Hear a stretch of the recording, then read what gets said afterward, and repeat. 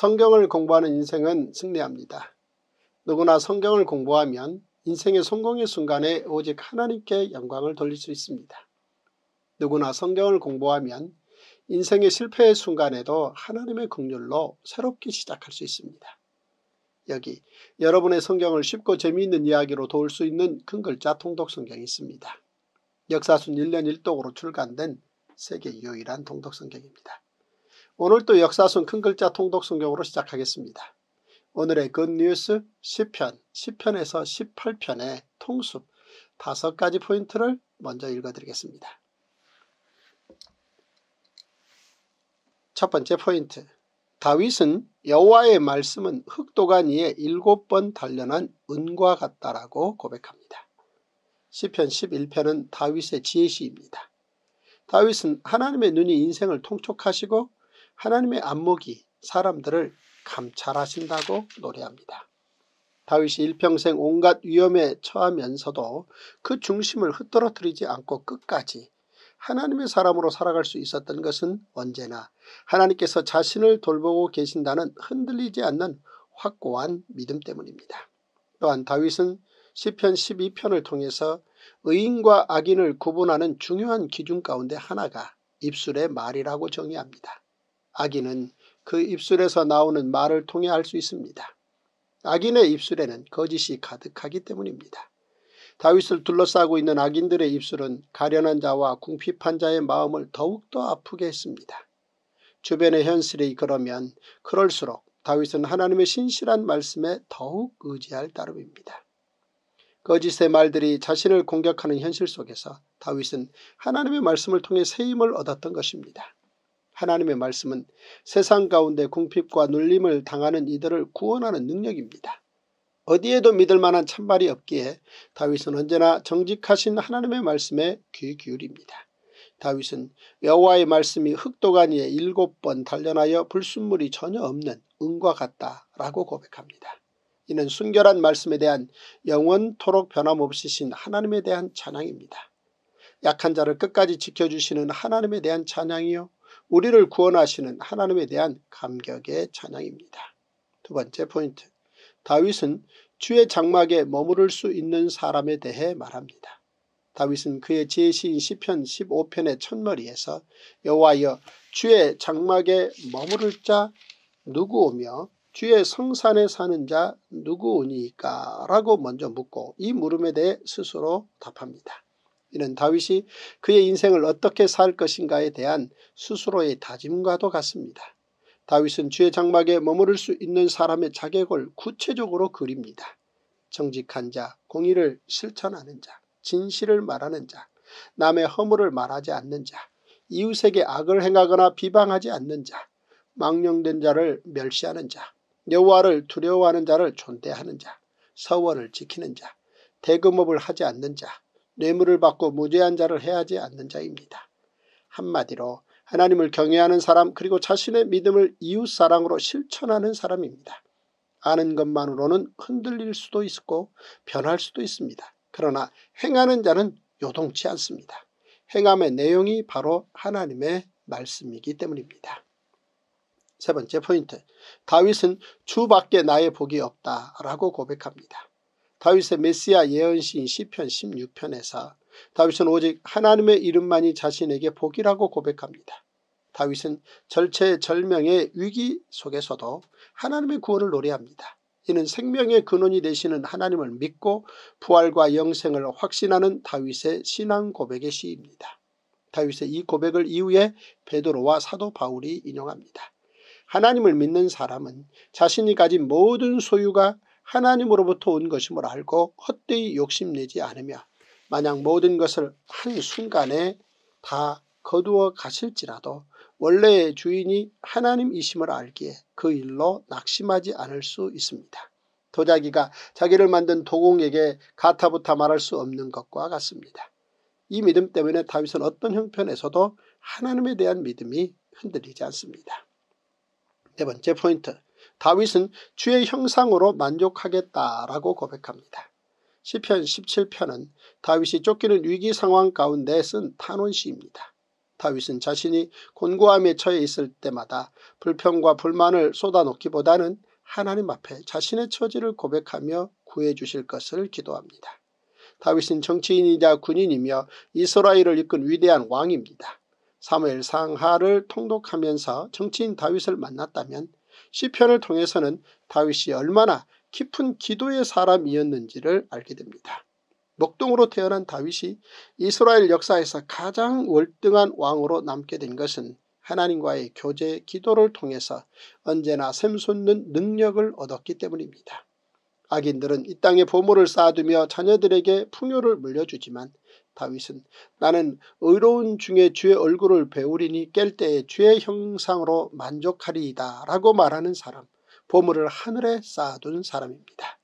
다섯 번째 포인트 다윗은 내가 주를 사랑하나이다 라고 신실하게 고백합니다. 다윗의 찬양시인 시편 18편은 다윗이 왕으로 즉위할 때 자신의 인생을 돌아보며 하나님께 감사하며 지은 시입니다. 시편 18편은 사무엘하 22장과 대동소이합니다. 다윗은 하나님을 신뢰하며 견뎌온 역경의 시절을 아름다운 신앙 고백으로 바꾸어 나의 힘이신 여호와여 내가 주를 사랑하나이다 라고 감사의 노래를 드립니다. 사실 다윗의 삶은 평탄한 것과는 거리가 멀었습니다. 10대 때부터 세상의 중심으로 나와서 겪은 삶의 고초들은 상상 그 이상입니다. 그러나 다윗의 중심에는 언제나 하나님을 향한 믿음이 고정되어 있었습니다. 생명의 위협이 극에 달한 순간에도 하나님을 신뢰했습니다. 다윗은 자신이 하나님의 말씀을 지켰기에 지금까지 사울을 비롯한 많은 대적의 위협으로부터 살아남을 수 있었다는 사실을 분명하게 알고 있습니다. 믿음의 사람에게 고난은 단지 장애물이 아니라 하나님의 사람으로 단련시키는 과정입니다. 모든 성경은 유익합니다. 세상 예화나 성경 요절주의, 권별주의는 끝내 성경을 어렵게 합니다. 모든 성경을 모든 가정에서 다섯 살부터 통성경 스토리로 듣게 되면 성경은 곧 쉽고 재미있는 책이 될 것입니다. 모든 성경 이야기에는 첫째 하나님의 법, 둘째 하나님의 극률, 셋째 하나님의 기적이 들어있습니다. 그러므로 성경 한 권이면 충분합니다. wow! 제142일 시편 시편 여호와여 어찌하여 멀리 서시며 어찌하여 환란 때에 숨으시나이까. 악한 자가 교만하여 가련한 자를 심히 압박하오니 그들이 자기가 베푼 꾀에 빠지게 하소서. 악인은 그의 마음의 욕심을 자랑하며 탐욕을 부리는 자는 여호와를 배반하여 멸시하나이다. 악인은 그의 교만한 얼굴로 말하기를 여호와께서 이를 감찰하지 아니하신다 하며 그의 모든 사상에 하나님이 없다 하나이다. 그의 길은 언제든지 견고하고 주의 심판은 높아서 그에게 미치지 못하오니 그는 그의 모든 대적들을 멸시하며 그의 마음에 이르기를 나는 흔들리지 아니하며 대대로 혼란을 당하지 아니하리라 하나이다. 그의 입에는 저주와 거짓과 포악이 충만하며 그의 혀 밑에는 잔해와 죄악이 있나이다. 그가 마을 구석진 곳에 앉으며 그 은밀한 곳에서 무죄한 자를 죽이며 그의 눈은 가련한 자를 엿보나이다. 사자가 자기의 굴에 엎드림같이 그가 은밀한 곳에 엎드려 가련한 자를 잡으려고 기다리며 자기 그물을 끌어당겨 가련한 자를 잡나이다. 그가 구풀려 엎드리니 그의 포악으로 말미암아 가련한 자들이 넘어지나이다. 그가 그의 마음에 이르기를 하나님이 잊으셨고 그의 얼굴을 가리셨으니 영원히 보지 아니하시리라 하나이다. 여호와여 일어나옵소서 하나님이여 손을 두옵소서 가난한 자들을 잊지 마옵소서 어찌하여 악인이 하나님을 멸시하여 그의 마음에 이르기를 주는 감찰하지 아니하리라 하나이까. 주께서는 보셨나이다. 주는 재앙과 원한을 감찰하시고 주의 손으로 갚으려 하시오니 외로운 자가 주를 의지하나이다. 주는 벌써부터 고아를 도우시는 이신이이다. 악인의 팔을 꺾으소서 악한 자의 악을 더 이상 찾아낼 수 없을 때까지 찾으소서 여호와께서는 영원 무궁하도록 왕이시니 이방 나라들이 주의 땅에서 멸망하였나이다. 여호와여 주는 겸손한 자의 소원을 들으셨사오니 그들의 마음을 준비하시며 귀를 기울여 들으시고 고아와 압제당하는 자를 위하여 심판하사 세상에 속한 자가 다시는 위협하지 못하게 하시리이다. 시편 11편 다윗의 시 인도자를 따라 부르는 노래 내가 여호와께 피하였거늘 너희가 내 영혼에게 새같이 내 산으로 도망하라 하면 어찌함인가. 악인이 활을 당기고 화살을 시위에 먹이며 마음이 바른 자를 어두운 데서 쏘려 하는도다. 터가 무너지면 의인이 무엇을 하랴. 여호와께서는 그의 성전에 계시고 여호와의 보좌는 하늘에 있으며 그의 눈이 인생을 통촉하시고 그의 안목이 그들을 감찰하시도다. 여호와는 의인을 감찰하시고 악인과 폭력을 좋아하는 자를 마음에 미워하시도다. 악인에게 그물을 던지시리니 불과 유황과 태우는 바람이 그들의 잔에 소득이 되리로다. 여호와는 의로우사 의로운 일을 좋아하시나니 정직한 자는 그의 얼굴을 배우리로다. 시편 12편 다윗의 시 인도자를 따라 여덟째 줄에 맞춘 노래 여호와여 도우소서 경건한 자가 끊어지며 충실한 자들이 인생 중에 없어지나이다. 그들의 이웃에게 각기 거짓을 말하며 아첨하는 입술과 두 마음으로 말하는도다. 여호와께서 모든 아첨하는 입술과 자랑하는 혀를 끊으시리니 그들이 말하기를 우리의 혀가 이기리라 우리 입술은 우리 것이니 우리를 주관할 자 누구리요 함이로다. 여호와의 말씀에 가련한 자들의 눌림과 궁핍한 자들의 탄식으로 말미암아 내가 이제 일어나 그를 그가 원하는 완전한 지대에 두리라 하시도다. 여호와의 말씀은 순결하며 흑도간 위에 일곱 번 단련한 은 같도다. 여호와여 그들을 지키사 이 세대로부터 영원까지 보존하시리이다. 비열함이 인생 중에 높임을 받는 때에 악인들이 곳곳에서 날뛰는도다. 시편 13편 다윗의 시 인도자를 따라 부르는 노래 여호와여 어느 때까지니이까? 나를 영원히 잊으시나이까? 주의 얼굴을 나에게서 어느 때까지 숨기시겠나이까? 나의 영혼이 번민하고 종일토록 마음에 근심하기를 어느 때까지 하오며 내 원수가 나를 치며 자랑하기를 어느 때까지 하리이까? 여호와 내 하나님이여 나를 생각하사 응답하시고 나의 눈을 밝히소서. 두렵건대 내가 사망의 잠을 잘까 하오며 두렵건대 나의 원수가 이르기를 내가 그를 이겼다 할까 하오며 내가 흔들릴 때 나의 대적들이 기뻐할까 하나이다. 나는 오직 주의 사랑을 의지하여 싸우니 나의 마음은 주의 구원을 기뻐하리이다. 내가 여호와를 찬송하리니 이는 주께서 내게 은덕을 베푸심이로다. 시편 14편 다윗의 시 인도자를 따라 부르는 노래 어리석은 자는 그의 마음에 이르기를 하나님이 없다 하는도다. 그들은 부패하고 그 행실이 가증하니 선을 행하는 자가 없도다. 여호와께서 하늘에서 인생을 굽어 살피사 지각이 있어 하나님을 찾는 자가 있는가 보려 하신즉 다 치우쳐 함께 더러운 자가 되고 선을 행하는 자가 없으니 하나도 없도다. 죄악을 행하는 자는 다 무죄하냐 그들이 떡 먹듯이 내 백성을 먹으면서 여호와를 부르지 아니하는도다. 그러나 거기서 그들은 두려워하고 두려워하였으니 하나님이 의인의 세대에 계심이로다. 너희가 가난한 자의 계획을 부끄럽게 하나 오직 여호와는 그의 피난처가 되시도다. 이스라엘의 구원이 시온에서 나오기를 원하도다. 여호와께서 그의 백성을 포로된 곳에서 돌이키실 때에 야곱이 즐거워하고 이스라엘이 기뻐하리로다. 시편 15편 다윗의 시 여호와여 주의 장막에 머무를 자 누구 오며 주의 성산에 사는 자 누구 오니이까 정직하게 행하며 공의를 실천하며 그의 마음에 진실을 말하며 그의 혀로 남을 허물하지 아니하고 그의 이웃에게 악을 행하지 아니하며 그의 이웃을 비방하지 아니하며 그의 눈은 망령된 자를 멸시하며 여호와를 두려워하는 자들을 존대하며 그의 마음에 서운한 것은 해로울지라도 변하지 아니하며 이자를 받으려고 돈을 꾸어주지 아니하며 뇌물을 받고 무죄한 자를 해하지 아니하는 자이니 이런 일을 행하는 자는 영원히 흔들리지 아니하리이다. 시편 16편 다윗의 믹담 하나님이여 나를 지켜주소서 내가 죽게 피하나이다. 내가 여호와께 아뢰되 주는 나의 주님이시오니 주밖에는 나의 복이 없다 하였나이다. 땅에 있는 성도들은 존귀한 자들이니 나의 모든 즐거움이 그들에게 있도다. 다른 신에게 예물을 드리는 자는 괴로움이 더할 것이라. 나는 그들이 드리는 피의 전제를 드리지 아니하며 내 입술로 그 이름도 부르지 아니하리로다. 여호와는 나의 산업과 나의 잔의 소득이시니 나의 분깃을 지키시나이다. 내게 줄로 재어준 구역은 아름다운 곳에 있으며 나의 기업이 실로 아름답도다. 나를 훈계하신 여호와를 송축할지라 밤마다 내 양심이 나를 교훈하도다. 내가 여호와를 항상 내 앞에 모시며 그가 나의 오른쪽에 계심으로 내가 흔들리지 아니하리로다. 이러므로 나의 마음이 기쁘고 나의 영도 즐거워하며 내 육체도 안전히 살리니 이는 주께서 내 영혼을 수월에 버리지 아니하시며 주의 거룩한 자를 멸망시키지 않으실 것임이니이다.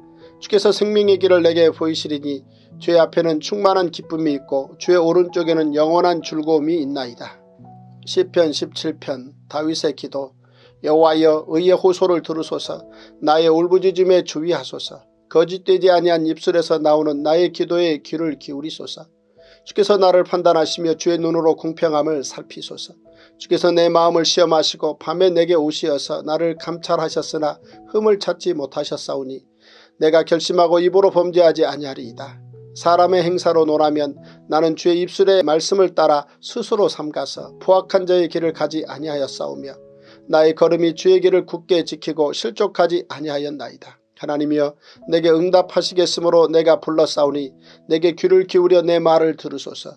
주께 피하는 자들을 그 일어나 치는 자들에게서 오른손으로 구원하시는 주여 주의 기이한 사랑을 나타내소서 나를 눈동자같이 지키시고 주의 날개의 그늘 아래에 감추사 내 앞에서 나를 압제하는 악인들과 나의 목숨을 노리는 원수들에게서 벗어나게 하소서 그들의 마음은 기름에 잠겼으며 그들의 입은 교만하게 말하나이다. 이제 우리가 걸어가는 것을 그들의 애워싸서 노려보고 땅에 넘어뜨리려 하나이다.